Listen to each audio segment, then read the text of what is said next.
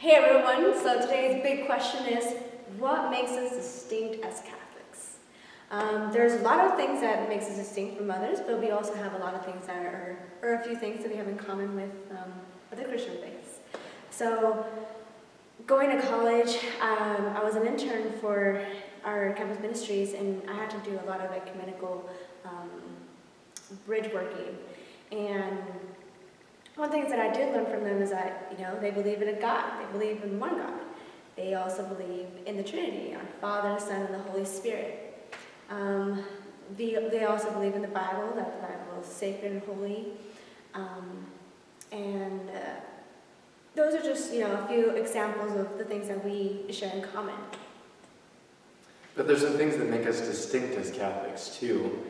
If you think about all of the history that we have as a Catholic Church and the tradition, um, that we're an apostolic faith. We say that every Sunday in our creed. So that means that the faith has been handed down from Christ to Peter and the apostles, and then they've laid hands on all of the people who have carried on the faith as priests and bishops and deacons from that point on. So our faith is apostolic. It's been handed down to us over time. And we have a great tradition that teaches us um, how to live well and how to make good decisions. If you ever wonder what the church teaches on something, there's probably a document or something out there that you can find about it. And we're really blessed that way. Um, we believe in Mary as the mother of Christ, that she was a, a virgin, um, and that she was sinless because she was a perfect vessel for Jesus to come to earth. And we believe that the saints and Mary intercede for us. They pray with us and for us. Um, so those are all great things that make us Catholic. But I want to point you towards something in our church that's really awesome. If you walk into most other Christian churches, um, you'll notice that the center of the church is usually something like this.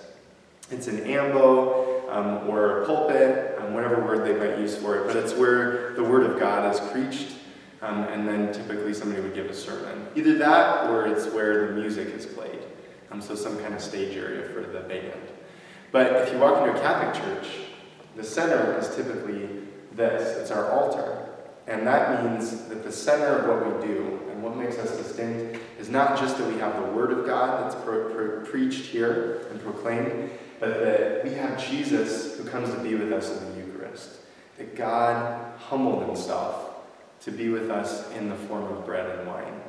And that, really, more than anything else, is what makes us distinct as a church, is that God gave us the Eucharist to receive him and to take him into the world. So remember that gift. Go to Mass. It's our greatest gift and our greatest prayer.